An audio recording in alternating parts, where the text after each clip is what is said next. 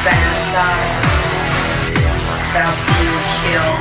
Do you ever wonder about all the different ways you die?